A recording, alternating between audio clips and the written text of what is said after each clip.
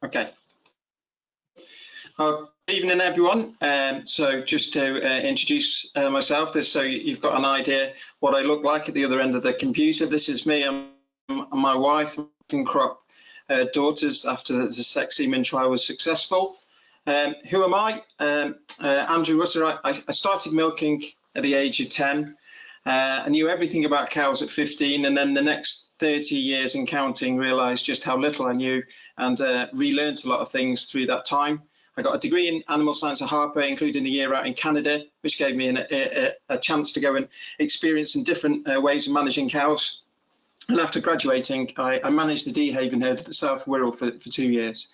After that, I was lucky enough to be hired by uh, Genus, where I was responsible for buying the bulls, so responsible for the European breeding programme part of Genus ABS, where I got the chance to uh, uh, work with some of the best breeders in the world, uh, bring some fantastic bulls in into the stud, and, and travel the world talking to, to, to, to, farmers all over the world about UK genetics. then I got the chance to come home 18 months ago into, into the farm partnership where I uh, milk 400 cows with my stepdad, mum, and my sister, uh, and we have 315 followers.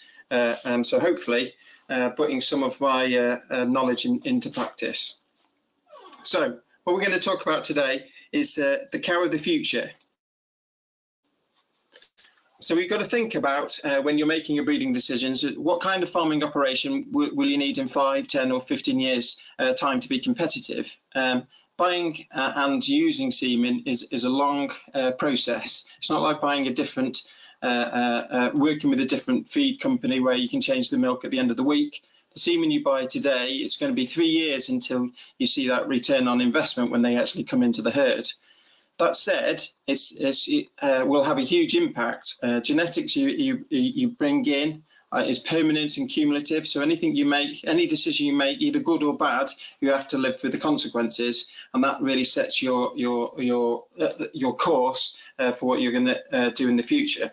5, 10, 15 years is only two or three generations of cows. So you have to think about, are you going to be changing your milk contract in that time? Uh, changing how you, you farm, are you going to go from all year round to block calving and making sure that you're future proofing your, your cows uh, to suit that and the milk contract you have today and what you think that might be in the, in the future. So what kind of cow is needed for that? You know, we, uh, at home, we, have uh, put a relatively new parlour in. It's only four years old. I need it to last as long as the last one did. So it's going to have to last another 30 odd years. So I need to make sure that the cows that I have in the next 30 years are going to fit into that. So if I have cows too big today, um, then I'm going to be in real trouble unless I start to concentrate on that in, in future breeding decisions. Return on investment is important with genetics. Uh, it's calculated that 30 to 50% of improved margins uh, through dairy cows is, is a, result of uh, improved breeding. So all the manage, management that we do, uh, feeding and improvements in that side is worth 50 to 70%. The rest of it actually comes from improved uh, uh, genetics. So a very important investment for us and one that we don't spend a lot of time thinking about relative to what else we do day in and day out and, and maybe we should just pay attention to that. But that steering an oil tanker it comes back to this five, 10 years or, or 15 years plan.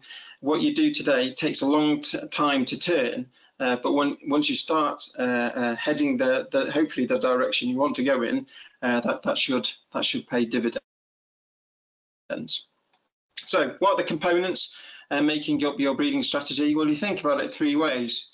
The first bit is, uh, and I talk about this you know, in my previous role and, and, today is is data. How good your data is, how how well you collect information on farm is essential uh, for helping you measure how well your cows are actually performing and, and making decisions. And also that data then feeds into the AHDB uh, database to give us better information about uh, understanding what's happening in the next generation of, uh, of, of genetics. Genetics indexes are available uh, for bulls. I'll talk about uh, these a bit more in depth later on. There's a suite of traits out there to select for, you know, to, to suit and explore your milk contracts, uh, your health programs, improving health and welfare of your cows, hopefully ease of management. You know, I, I, I talked about working in Canada where, you know, we had 40 cows or three families kept by, by 40 cows. Today, 400 cows is, is struggling to uh, to keep a couple of families. So it's it's very much about uh, making sure our cows are easy to look after and, and profitable. And then confirmation, that's changed a lot in my uh, ideals of, of what I thought a cow should look like. I'm more a believer now in form follows function. If the cow does everything right, she looks like what she looks like. But that said, there are traits within that that you can concentrate on if they're having issues with you on the farm, teat length, width, uh, stature of the cows, all of those bits that you can actually select for. And then here, genetics, you know, we talk about the mating, uh, we spend a lot of time talking about the semen that we buy. The other half of the mating is, is what you already have on farm. So what strengths have you bred into your herd? What areas do you need to, to pay attention to? Uh, we'll talk a little bit about the herd genetic report, which is a brilliant way uh, of, of understanding, giving you a, like a snapshot of what you actually have on, on, on the herd and how you can exploit your strengths and, and certainly work on your, on your weaknesses this is a, a, powerful slide, I think, in, in terms of explaining just how valuable uh, uh, genetics is. And if uh, if we trace back to right when I was a lad and started milking cows back in the late 80s, we saw a, a strong improvement in, in, in milk. So the, this blue line here is improvements in, in milk production in, in the uh, in the uh, national herd. So we know that we were uh, cows were giving more and more milk through the late 80s and early 2000s. But mirroring that in, in virtually the same curve is a, an orange line, a line which is showing a decay in, in fertility. So our cows are becoming less less fertile. And we we worked with our cows. We, we knew that was happening. Unfortunately, we couldn't select for it. We didn't have a fertility index uh, uh, um, to select for. So basically, in effect, what we were doing was designing a cow to be ultra efficient at turning, uh, partitioning all her energy into producing milk and not worrying about having babies. In the mid 2000s, uh, the AHDB launched the fertility index, which is a great way, uh, uh, great indication straight away about genetic lines that would improve fertility or, or, the ones that were having an adverse effect on, on, on fertility, and which gave us the opportunity to actually select. And then what we started to see were what you call uh, curve bender genetics, so bulls that could improve milk while still uh, improving fertility. And then the studs and the breeders uh, concentrated on that more, and we see the line starting to accelerate again on production. So although although those two are antagonistic traits, and not really correlated, you can actually find the genetic lines that do do both of these. Uh, so to improve our production and improve our fertility is possible. Now, there was a lot of talk about there's no point selecting for fertility because it's low heritability trait.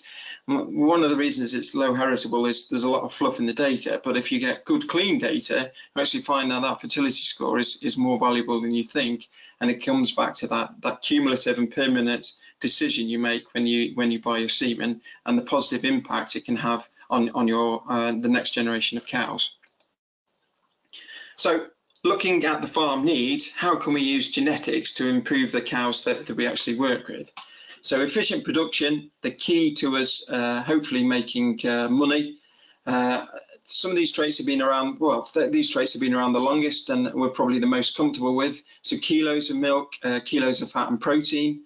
Uh, milk contracts uh, vary up and down the country. You're certainly seeing a tendency to move towards a more component-based contract. So speak to your milk buyer. Is that is that the case that they'll continue to to push for that? Are they happy at how it is, or do you see a, a swing, or even are you thinking about moving to a different milk contract? And how would you exploit that? Fat and protein percentage is a good way of tweaking those figures pay attention to what your milk contract actually says. If you if you actually have a look at the Arla uh, con, uh, constituent contract today, it's not fat and protein percentage per se that, that pays you. It's the actual kilos of fat and protein that you sell that has the biggest impact on your milk price. So although that looks good for pence per litre, in, in fact, in your actual milk check, you might be find it um, but but more emphasis on the actual kilos of solids that, that, that you that you select.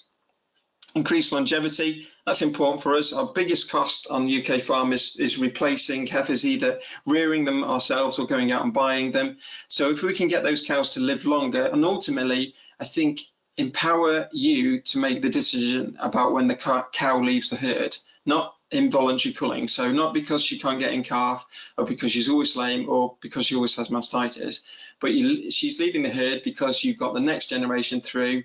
Um, they're more valuable uh, cows for you for you to sell. Um, so can you breed for that? So lifespan uh, and then calf survival is a new trait of um, uh, that ability for the uh, calf to survive in that first year uh, of, of life. Improving fertility, we talked about that before. Uh, the fertility index is a great way of, uh, of improving uh, the actual ability of a cows to get back in calf. Certainly doubly important now as more people use things like sex semen. If, we, if we're empowering our cows to be more fertile and we're using more expensive semen, that's, that's certainly something that, that you notice. Improving udder health, one of the oldest um, health traits and certainly one of the ones that helped um, us understand that there's actually something in these health traits that actually was working and you definitely saw um, uh, high cell count cows tended to correlate to being sired by high cell count bulls and, and conversely the low cell count uh, that you see tend to be the, the on, on, farm tend to be the ones sired by uh, those improvers. More recently, there's a mastitis index. And I urge you to have a look at that as well, um, because as you know, if you're milking cows at home, you get some cows that have very low cell counts and then flare up with bad mastitis cases. Equally, you get some cows that tick along with a higher than you'd like cell count score and yet never have mastitis scores. And just in the same way, uh, the uh, bulls available on the market can can be positive or negative on, on, on those traits. They tend to go together, but that's not always the case. So it's worth having a look at both scores. And certainly, if you're concentrating on one area, uh, you, you, you can uh, um, sort your bulls uh, uh, as as as you need. Um, reducing lameness that would be the one trait I'd, I'd like to improve the most at home. Um, historically, we had predictor traits. So foot, foot, and leg score and then the locomotion score came along. As we all know, uh, a good uh, a cow that looks like it's got good legs and feet and then walks like a duck isn't isn't really going to um, help, very well. But equally, you can these are predicted traits, and you know that when you lift the cow's feet up, you can have a cow that looks like she's got great legs and feet and walk really well, and you lift her, her feet and there's there's all sorts of problems under there. Equally, some cows are, are less pretty, if you like, less uh, um, smooth on the move, uh, but have uh, um, much better uh, uh, legs and feet. And ultimately, what you're looking for is less cases of, of, of lameness. So moving away from predictor traits and actually selecting for re reduced lameness is, is certainly the way to go. Easy calvings. It's not that, you know, in, in my lifetime, we expected to be up with every calving. Uh, these days, you know, 400 cows at home, I, you know, our aim is to get that calving uh, aid rusty. You know, we don't want to use it. We, the moment we put the ropes on the calf, we're impacting the, that cow's ability to reach a true potential in that lactation and ultimately to get back in calf uh, uh, subsequently. Um, so direct and maternal calving needs, so how easily the calf is born herself, and then how easily she goes on uh, to have uh, a calf herself, are two traits you can select for. Feed efficiency, ultimately the, uh, the golden bullet really for, for any farm. Unfortunately, the dairy cow lags a little bit behind the, the chicken and the pigs. We're, we're not quite as, as advanced in understanding just just what makes our cows more more efficient. So the best we've got at the moment, and, and until the feed efficiency score arrives, is is a really good uh, way of measuring the size of the cow. We know a cow has to eat around two percent of her body weight every day in dry matter just to stay alive. So if we can work out a way of assessing how big the cow is, and that's what maintenance does, we can then assign a, a value to that and actually start to, to select for it or, or against it as you see fit. And then disease resistance, you know, uh, lifespan, you think about it, lifespan is resistant to death. And all we're doing here is, is tweaking with the other health traits, particular areas. Uh, but disease resistance, um, certainly with the TB advantage, you know, we, we farm in Cheshire, so uh, TB is something we talk about a lot, um, and if we can actually breed for improved uh, resistance against this disease, you know, it's, a great tool for us to actually be proactive about how we manage uh, our next generation of cows. So a little bit of cheat sheet. I didn't want to take it for granted that everybody knew what all these traits were. When when the sales rep uh, arrives on farm showing you uh, a glossy uh, uh brochure of, of, of, bulls and all, all the performance, you know, what, when you get down to the nuts and bolts, what do these figures actually mean? So we talked about maintenance before, and that's a, a, a, a figure in kilos that you would expect uh, above or below the average cow. So this, this bull here is plus three, so you'd expect daughters to be three kilos heavier than average. And to give you an idea, if you looked at the top 50% um, of genomic bulls available today, there's a difference within that group of about 50 kilos between the high, the heaviest bull and the, and the lightest bull in terms of how their how their daughters would actually uh, perform. And that's just in the top half. There will be more outliers if you looked at the whole population. So there is a big swing in there if if if it's certainly something you're looking uh, to improve. Uh, um, uh, a positive means that the, the size will increase. Uh, our target home is, is, is to reduce the size of our cows. Our cows are plenty big enough already, so we would be tending to look for a, for a good negative in this in, in this box. Lameness advantage, you look for a positive score there, and think about it in, in 100 cows, uh, 2.9 uh, fewer cases of mastitis, uh, uh, fewer cases of lameness in, in that group. Somatic cell counts is given as, as a percentage. A negative is a score that you would be looking for. So this at plus 13 would say that the daughters would be 13% uh, higher in their cell count scores. A mastitis, again, think about percents, five more cases in a, in 100 uh, against the average bull if you use the, this bull here. Calf survival, um, again, percentages, positive is what you're looking for. So nearly 1% more of the daughters would get through that 300, first 365 days of life. So the most expensive part of the rearing uh, process is in that first uh, 365 days. And once you get them through that, we're far, far more confident of them making it into, into the herd. Lifespan, score uh, most people be very comfortable with. Um, it's in percentages of a, of a lactation. So the average cow in the UK lives for three and a half lactations. So minus 0.1 says it would reduce it to 3.4 uh, lactations, but some of the best bulls out there now are up to one. So um, it's promising an extra lactation uh, by using uh, his genetics on your in your herd. Fertility index, a negative is, is, a poor score. What you're looking for is a positive score. Um, every point of fertility index is, is worth about half a day in calving interval. So at home, a minimum that we tend to set is, is double digits. So we would look for a plus 10 and above, uh, knowing that that should reduce our calving interval by five days. Um, direct calving ease, so certainly something to pay attention for, um, especially if you're buying uh, um, semen for, for, your heifers.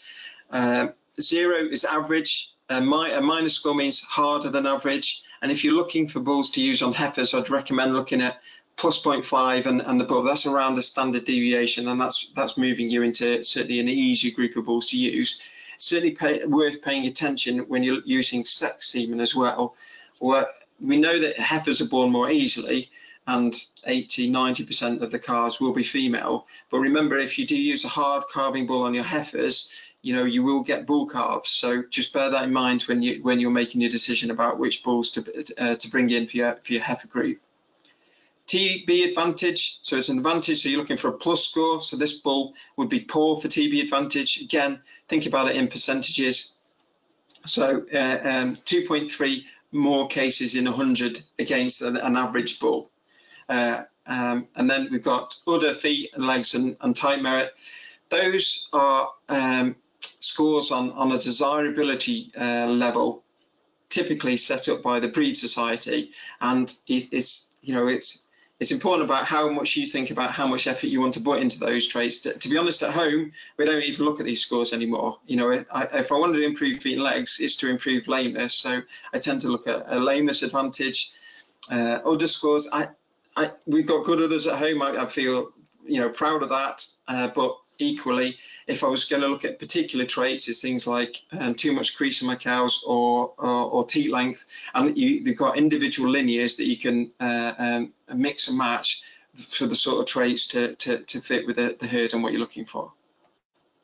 So breeding the right cow for your system. So we've got PLI, which most people have heard of, and then SCI and ACI, which which may be new to some of you.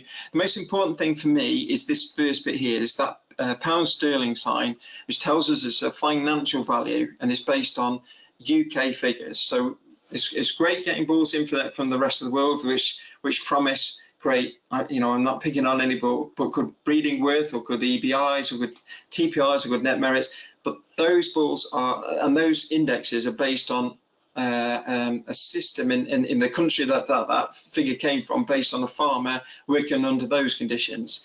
If you're thinking about yourself, you're looking at the average uh, UK uh, cow, average UK uh, farmer and working under the average UK milk contract. This is a really good starting, uh, like a, uh, a, starting point for you to, to start to select which traits to look for. We can book financial values uh, to all of those traits that, that we talked through before. Um, and you could add them all up, but uh, AHDB does that for you, does all the legwork. So it gives you a PLI score, which is that profitable lifetime index. So the improved margin, a net margin you would expect that cow to, to perform for you on farm over its lifetime against the average daughter. So the top bulls out there are getting up towards 900 pounds against the average. So there's a real uh, uh um, uh, um, opportunity there for you to improve your margins. Um, the relative weights are reviewed based on an economic model, uh, reviewed uh, every couple of years and, and certainly more uh, more than that. And then the, the last revision was back in August 2018. But then every base change and when things change markedly in the country, those updates are applied.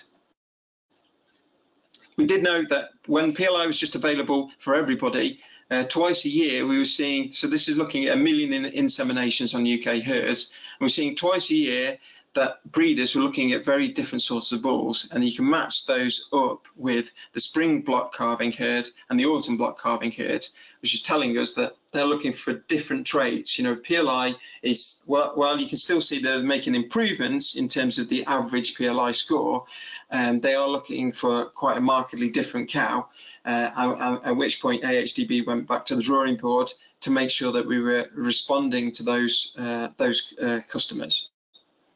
So this is the PLI. If you look at PLI against the rest of the world indexes, um, two thirds of our index is, is based on the cost of production, whereas one third is based on production itself, which would be one of the highest weightings, uh, putting the emphasis on those health traits, keeping the cow in the herd for longer. And that's because the cost for us of keeping our cow in, in the herd, keeping them healthy or replacing them is far higher than the rest of the world. That's why there's so much emphasis on those traits again, it comes back to reflecting what the average UK farmer is, is trying to do and what makes him profitable.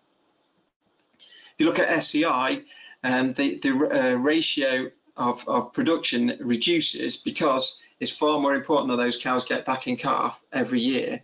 It's important that those cows are not too big, uh, you know, both uh, for efficiency and certainly for, for pasture management. It's important that those cows uh, live a long time and even within the uh, um, production emphasis, the uh, weightings for fat and protein percentage is, is higher uh, to reflect that they're typical uh, milk buyers.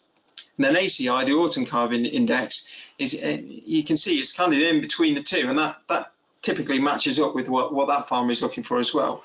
A little less emphasis on, on out and out production than PLI, higher weightings on, on fertility and, and longevity, uh, and, and, reducing uh, body size, but not as not to the same extent as as would benefit the spring calving herds.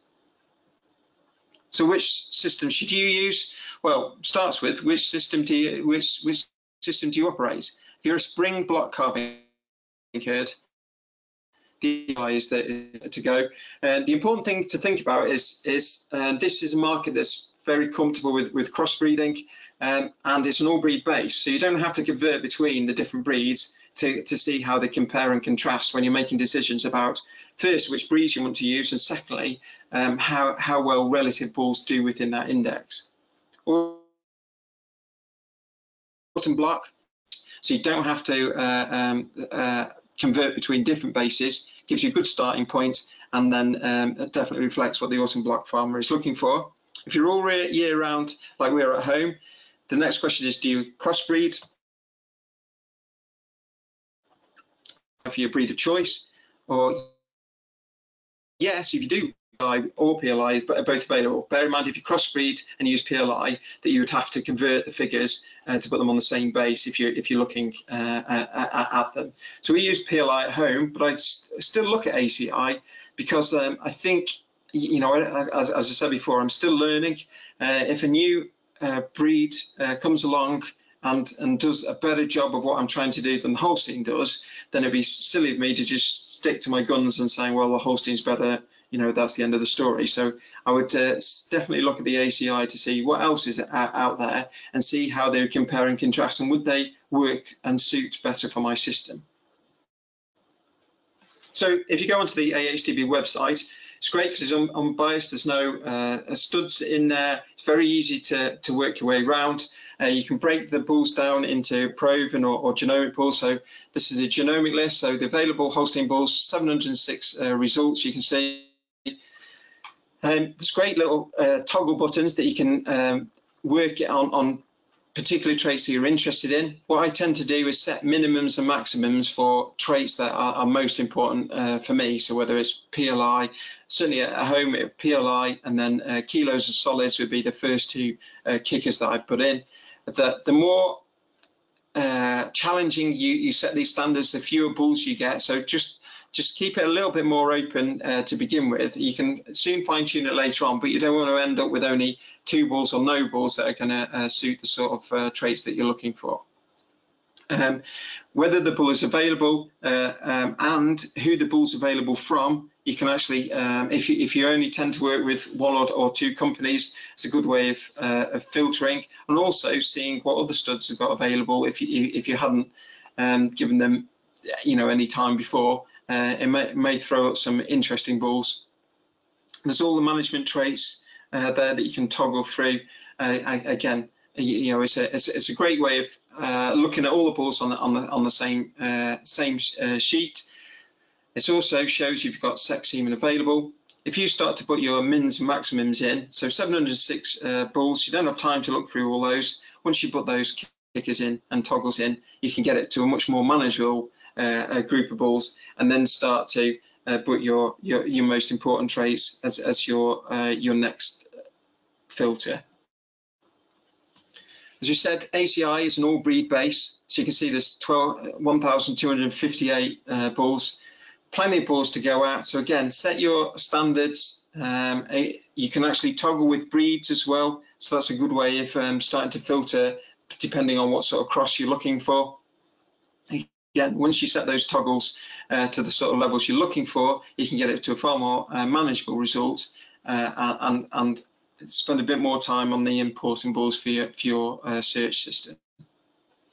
If you also go into the breeding block uh, uh, site on, AHDB, there's a breeding trait selector, which is a really good way of um, honing in on, on what sort of traits are important to you, like a little bit of a cheat, if you like, um,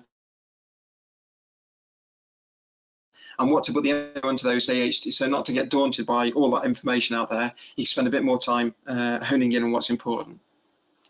So preparing to purchase semen, assess the herd strengths and weaknesses. How do we go about doing that? But then setting a breeding goal and set priorities and how much semen and of what type uh, do you need to purchase? Now that's something that you, you, know I grew up in a well if the uh, the rep turned up and he had a bull I was interested in. He'd put some semen into the flax. That's that's not really the the best way of negotiating the best price. If you can go um, when the rep arrives and saying this is how much semen that I need uh, to a good level of accuracy you've got your best chance of getting your best price rather than running short and you, you know that um, you you tend to have to buy at, at list price for, for, for small amounts. So breeding season uh, semen calculator, again on that breeding blocks, it's quite easy to fill that, inf that information in. It's so easy, even I can do it. Um, a way of then starting to uh, see what sex semen and, and, then beef straws you need uh, to reach the replacement rates you're looking for uh, or, or, or, or, whatever your um, uh, breeding strategy is. So the herd genetic report, this is a this is a tool that if you milk record, is and you've not accessed it yet, you know, get get hold of the. Uh, I'll, I'll, show you later on how to how to log in. this is the, your GCSE results for your herd, if you like. It's available for you. You've paid for it already. Make sure you're using it and exploiting it to work out what you've got at home. So on your home page, you see um, you can select your herd breed. So if you've got different uh, breeds in there, you can select which herd is important for you. And then you can also sort whether it's on PLI or if you're block calving SCI or, or ACI. You see herd bro broken down um, from, from your youngest calves up, up to all the young stock and then into the milking herd. Um, what you can actually see is all of those different traits then as well, the health traits, lifespan, cell counts and so on, and also the, uh, the PTAs for milk, fat, protein and percentages. What you'd expect to see is, is an improvement over time on PLI because your, youngest animals will tend to be sired by better bulls than your oldest cows. Um, hopefully, if, if, if everything's been going well and your rep's been doing a good job for you, you can actually select um, age groups uh, that you most want to work with it then as well or, or, have a look at. The other thing to have a look at is trends. You know, are, are, you putting more or less emphasis without even noticing it on, on traits that are more or less important to you? You can also then, if you slide down the screen, there's a really good benchmarking tool which sees helps you understand where your herd is against the national averages. It's great because it's a bit competition. You know, uh, you know, how can I get them up to the top? And it's always nice to see that someone's doing the job uh, worse than you are. But it, importantly, what it does show is what the opportunity is there if you selected on these traits to improve that. You know, how good could your herd be in a particular trait that's important to you? So you can see this herd's doing a, a great job in out and out yield, less so on percentages, but that might absolutely suit your, your milk contract. Um, and, and equally, you can see um, inbreeding or, or, fertility index, you can start to say, well, I need to put more emphasis on that in the next uh, tranche of bulls that, that you select. Uh, you can also look at, at, the milking herd and compare your young stock against the national herd as well um, your young stock report and, and you can actually click and, and drill down into the detail of, of what these age groups are in the individual cows. Certainly that young stock report is great, a great way of starting to see, you know, making decisions about what bulls you need in time for when you start to breed breeding your heifers. You can start to sort them on, on, on PLI. You can start to uh, look at the inbreeding. So this is the inbreeding figure of the animal itself. So you can, uh, obviously that will change for the next generation when you're using bulls, but certainly something to, to pay attention to. Um, but just like the bulls that we looked at before, you can actually start to put toggles on, on these uh, uh, um, individual traits. So you can say, I want to put more, you know, I only want to breed my top animals for, for fertility index and the, and the bottom half I want to breed with to beef or so on and so forth. So you can then start to select these animals out and, and, and put them into your breeding group.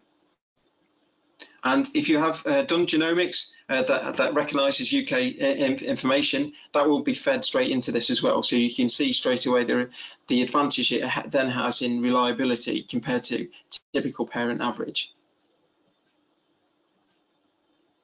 Okay. So there's also an inbreeding checker, which is a, a great tool that I've started using my, myself uh, to sort of give me an idea of where we stand, uh, what the herd is doing, and, and, what that inbreeding will be with my next group of bulls that I'm, I'm thinking uh, about using. It's an easy tool. Um, it's really straightforward um, and very clear and to understand when you get results back. You can make cows listed in the herd genetic report and young stock and checks against all available bulls quickly so you can quickly sort which bulls you're thinking about using. The other thing that I really like is you can add any bulls that you've got in your flask and it will give you inbreeding uh, scores for those as well. Um, if you go on again that breeding blocks, there's a there's a click link to a, a, a video which is sort of holds your hand as you as you work through the, through the system, it's called Selecting Sires and Dams, and if you click on that, it'll, it'll play you a YouTube. I, I, had to, it sort of held my hand the first time I used it, but once I've done it once or twice, I, I didn't need it anymore, but it's, it's, it's a good tip to, to, to use it. So how do you sign up to the herd genetic report? What you need um, is, is to supply your email address and your milk recording number, which uh, milk uh, recording company you work with, your trading name and address, and send those to the breeding.evaluations at ahdb.org.uk. Now you can choose to share that information with your uh, potential reps or, or, your vets or anybody else uh, that has an interest, maybe consultants, um, if, if you so wish. This is your information. You don't have to share it if you, if, if you don't wish to, but it might help uh, conversations on farm and certainly uh, helps concentrate their mind, uh, the rep's mind, when they're talking to you about genetics. So think about which economic index applies to your herd. PLI, SCI, ACI, start from there, and only ever use bulls in the top 50% of the appropriate economic index. So if you look at the genomic bulls today, I think I looked last night, there's 740 bulls available. The top half is there's 360 bulls in there. And within that, I said there's a range of 50 kilos of maintenance. There's a, a range of, uh, um, of, of, six on, on uh, TB advantage. You know, plenty of, uh, of differences in, in cell counts, and there's no reason to go into the bottom half of that available list if you're really trying to drive your profit margins forward uh, th uh, through the genetics. So then key into your key, key priorities, um, ensure that the strengths that you want to keep in there are maintained while then starting to concentrate on the ones that you most want to improve. If you try to improve everything, you end up compromising and end up not really making any progress. So think in your mind about the ones that the traits uh, and that benchmarking tool is a really good way of highlighting you know what what areas could be of, of concern and then start to make your selections from there. And then run all decision through an inbreeding checker which puts you on the front foot when you start uh, discussing it with reps. So do you buy semen or are you being sold semen? Um, I, I, think as, as I've uh, held these meetings around the country, there's an element of both in, in this, and, and both can be used to your advantage. So it's a case of uh, uh, keeping your wits about you what I suggest is be proactive when the, the rep arrives. They want to know what, you know, the, the more information you can give them, the better advice they can give you rather than going in, in cold. So state the breeding goal and key priorities of the herd. You'll soon sort, soon sort out the people that aren't really listening to, to what you're trying to do, and you can move on to the, to the next person. Provide cow numbers and the amount of semen you, you, you're, you're looking for. So, you, you know, that's your best opportunity to get your best price I like asking the the, the rep to suggest bulls. Uh, again, another way of, of, of sounding them out, whether they're really listening to what you're trying to do and how much they how much knowledge they have, um, because it will also, if, if they're really good at their job, um, highlight some bulls that maybe you hadn't considered that would actually suit the sort of breeding goals you're looking for. Um, ask why that suggested bull is right for the herd and verify the data um, before purchase they might come with a, a, hot new bull available that you hadn't necessarily seen on, on the AHDB website. Always check then that the bull is independently validated. You know, just because they've got a, a flashy photograph and you know some great daughter pictures isn't really helping you because ultimately you have to live with this decision in the next generation and ultimately generations after that when you put that semen in. So if they haven't got AHDB data, why haven't they? Uh, and, and, and, you know, to be honest, I'd ask them to come back when they've got it. Um, data from the herd genetic report, as, as I said before, if, if, you give them access to it or, or, certainly talk them through the herd genetic report with you, uh, that's, a, that's a good way of, of, of helping you explain where you are and where you're trying to get to. And again, helps them think about the sort of bulls they, they would uh, uh offer you as, as, as part of a deal. Think about the semen you got in the tank. Um, is the semen in the tank fit for purpose? And I mean this think about it, uh, not about how good the bull was when you bought the semen. You've got to think about how good the bull is uh, is today, because ultimately that's the uh, decision you're making if you bought that semen in, in, in, the back of the cow.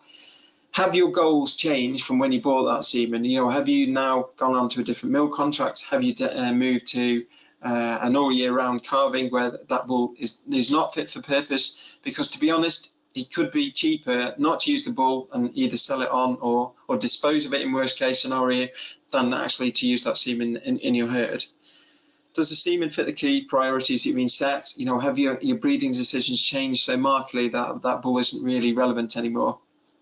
And I'd suggest as often as you buy semen, keep reviewing those priorities. You know, keep the tank lean. You don't want semen in there for a, for a, for a long time. It's it's not actually giving it. You know, there's no advantage to it you know what you're trying to do is get those either the genetics walking around and making a return for you, or you didn't want to invest in that semen in the first place. Better money in the bank.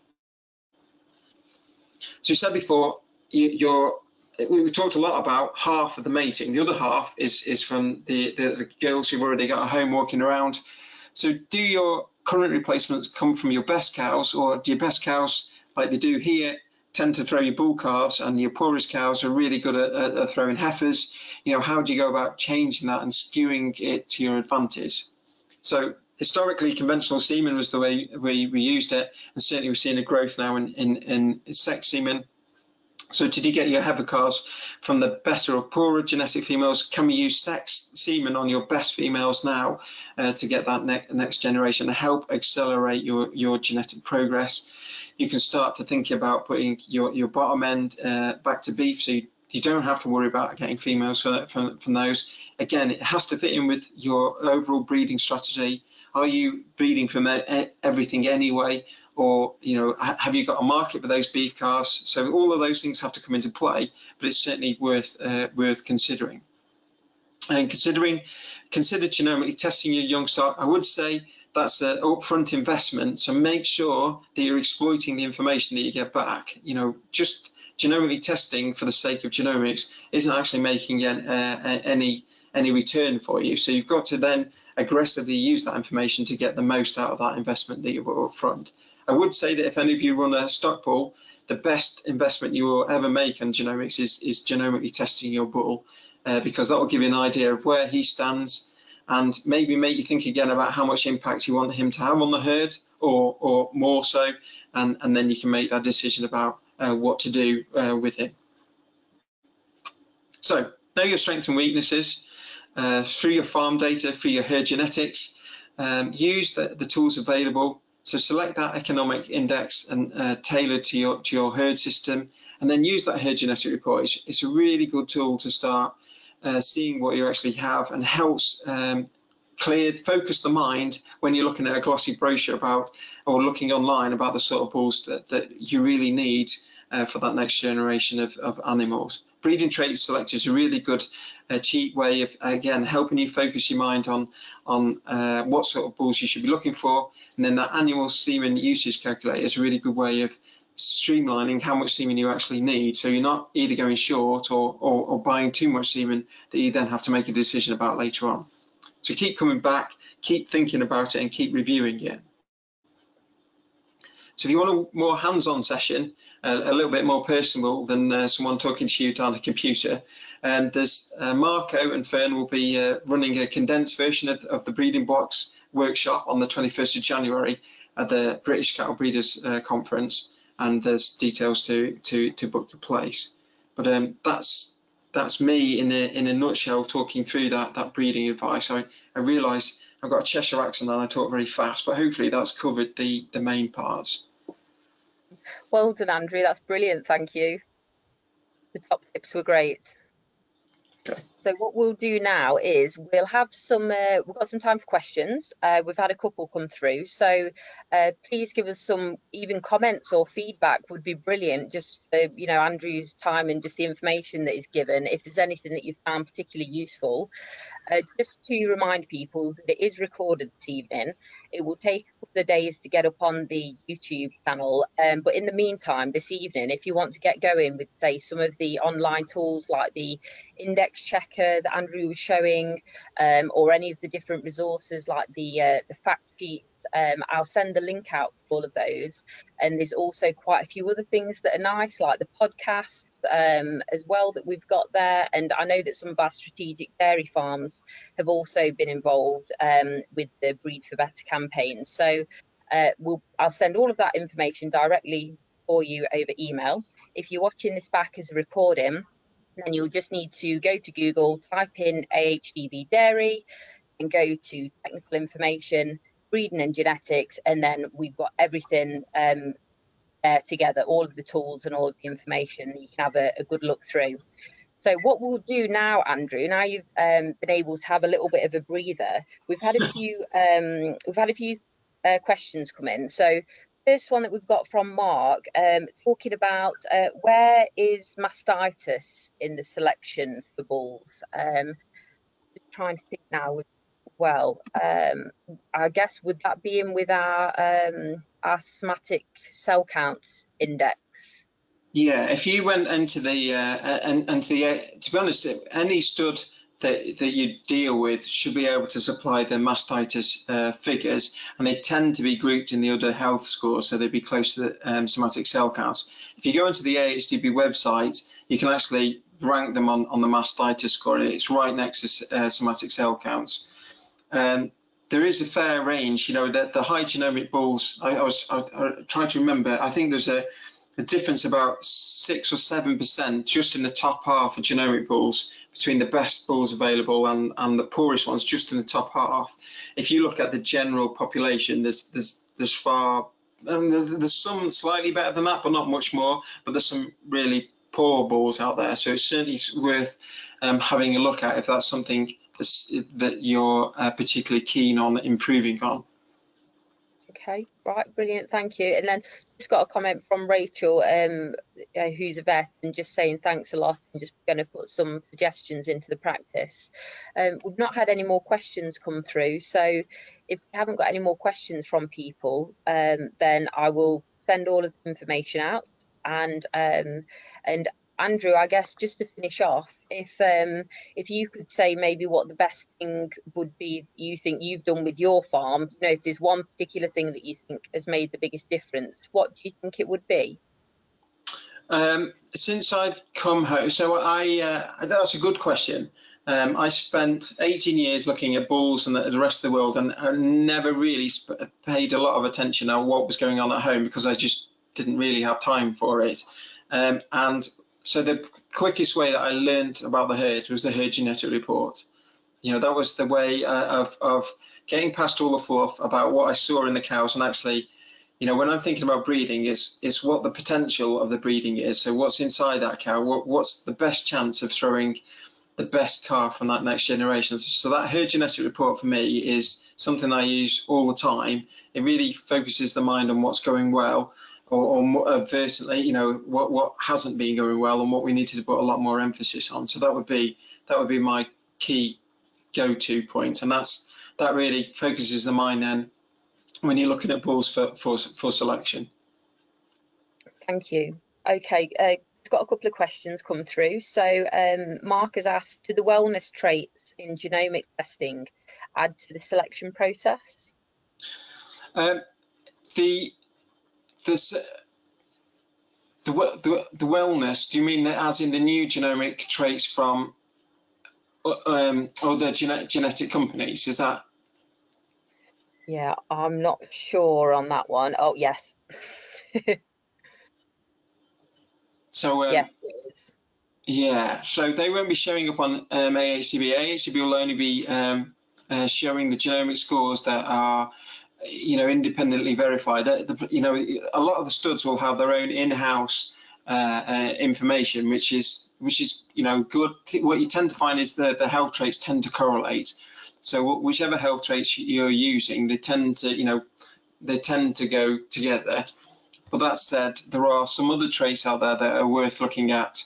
Uh, you know, if I guess it's having the independent uh, verification of how good that trait will actually be if you use it on farm because we haven't seen them actually working under UK conditions with you know with a repeatable uh, um, data. That would be my caveat to using those scores. Okay, all right, that's brilliant. Thank you. Um, yeah, Rachel's asked if we can um, send out the contact for registering for the herd genetic reports. I'll send that out, Rachel, and there's a form on the website that um, that you can fill in and get direct access. So I'll send that out afterwards. Um, great, and I think that's it. So no more questions. So thank you very much, everybody, for joining us this evening. And Andrew, thanks so much for your time and doing the presentation for us. I hope the rest, um, your last meeting goes well that you've got for the breeding blocks. Thank you. And make the most of the herd genetic reports um, and the indexes that are available to you. Um, you know, we've got the new autumn calving index and uh, we've got all of the new fact sheets that have been um, that have been written this year by Marco and Fern, which are brilliant as well. So thanks very much, everybody. Uh, have a great evening, and uh, thanks again to Andrew.